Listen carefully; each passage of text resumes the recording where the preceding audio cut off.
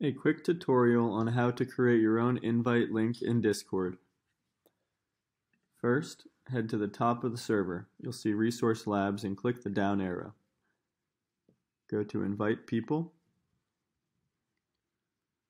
Go down here. This is your link, but you're going to want to edit the invite link so that it never expires. You're going to want to do Generate New Link. You now have a new link here. Copy and send it to whoever you would like. Thank you.